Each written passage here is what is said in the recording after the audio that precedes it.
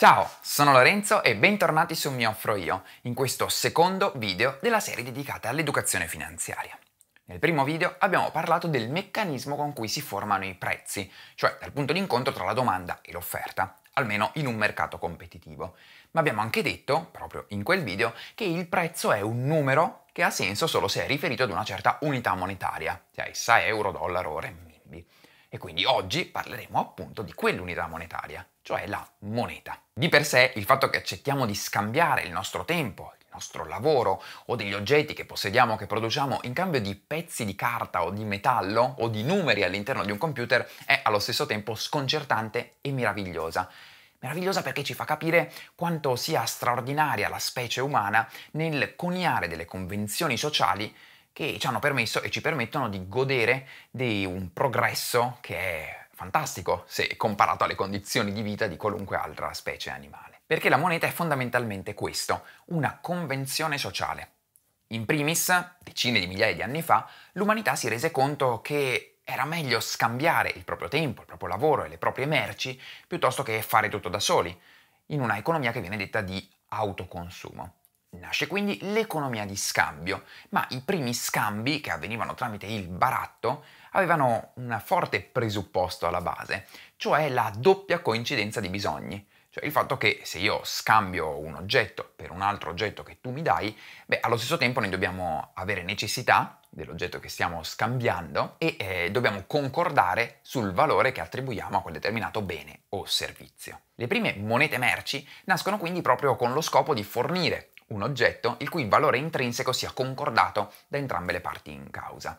e anche che siano facili da trasportare. E quindi si passa dai capi di bestiame alle conchiglie, dal sale al tabacco, fino ad arrivare ai metalli e ai metalli preziosi. Al fine di garantire il suo valore intrinseco, ben presto si afferma la moneta coniata in metallo prezioso dalle autorità statali, che la utilizzano anche, specie con le loro effigi, per dimostrare la propria autorità. Il fatto però che gli stati siano più o meno liberi di produrre la loro moneta, un potere che viene detto appunto signoraggio, fece sì che molto spesso si verificassero fenomeni in cui le monete venivano svilite, cioè si riduceva il contenuto di metallo prezioso al loro interno in modo da rimpinguare l'erario. Allo stesso tempo, le prime banconote appaiono in Europa intorno al XVII secolo, anche se già in Cina se ne riporta un primo utilizzo intorno all'800 d.C. e sono il primo mezzo di pagamento che è privo di un valore intrinseco. Le banconote, le note da banco, venivano emesse dalle banche, che sono imprese che gestiscono il denaro di altre persone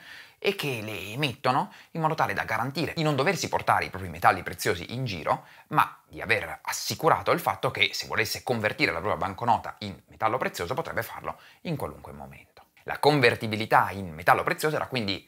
alla base del valore dato alle prime banconote. Gradualmente, per evitare in particolare che le banche mettessero più banconote rispetto alle riserve auree che possedevano, gli stati decisero di regolarne l'emissione fino a renderla possibile solamente per la cosiddetta banca centrale, che è un'impresa diversa dalle altre banche perché non è a scopo di lucro. La convertibilità in oro della moneta fu definitivamente abolita nel 1971 con la fine degli accordi di Bretton Woods che erano stati presi verso la fine della seconda guerra mondiale nel 1944 e da quel momento quindi tutta la moneta in circolazione, quella che utilizziamo noi nella nostra vita quotidiana, viene chiamata ed è moneta legale o moneta fiat, dal latino sia così. La moneta legale, che ha valore proprio in quanto esiste un'autorità statale che ne garantisce tale valore, può essere sia cartacea, quindi le banconote, anche le monete che utilizziamo, appunto i contanti, sia bancaria,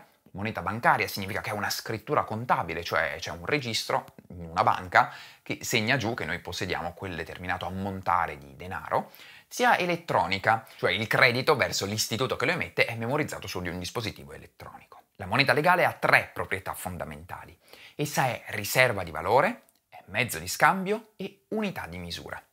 È riserva di valore perché esiste appunto l'autorità statale che ne garantisce tale valore e che in teoria si dovrebbe adoperare perché tale valore rimanga costante nel tempo. Quindi se riserva di valore può essere risparmiata,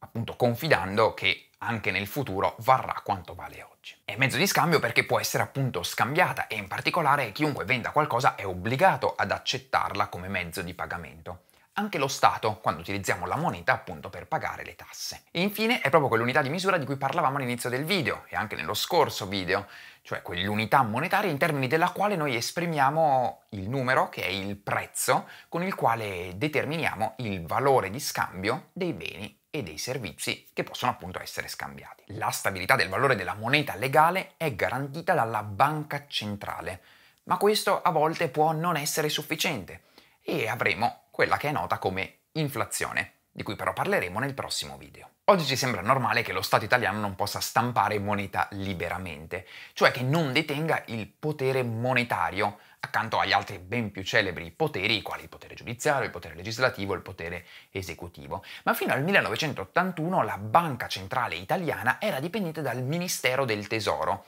che poteva decidere di far stampare alla Banca Centrale più denaro, in realtà tecnicamente di far comprare dalla Banca Centrale dei titoli di Stato italiani per garantire una maggiore spesa pubblica. La decisione di rendere indipendente la Banca Centrale Italiana dal Ministero dell'Economia e delle Finanze avvenne in un periodo di forte crisi economica e di elevatissima inflazione e ebbe come conseguenza il fatto di riuscire a mitigare un po' quell'inflazione, ma soprattutto di rendere responsabili i governi nelle loro azioni di politica economica di fronte alla cittadinanza, perché appunto devono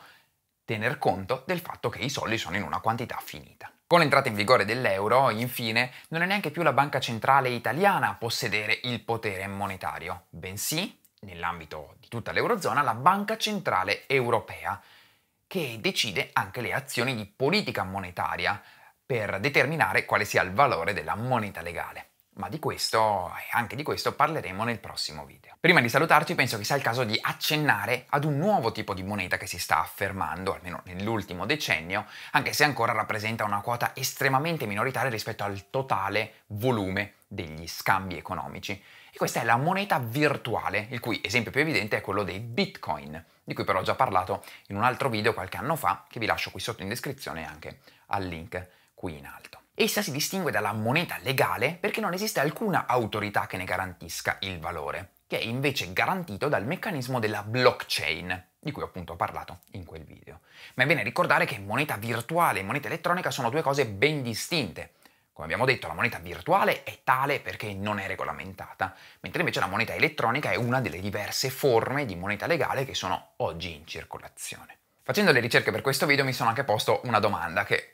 presumo possiate porre anche voi. Cioè, com'è possibile che con tutta la quantità di denaro che c'è in circolazione, il numero di soldi nel nostro conto corrente sia così al riparo da attacchi informatici o che non siamo semplicemente liberi di modificarlo e di incrementare arbitrariamente i nostri soldi?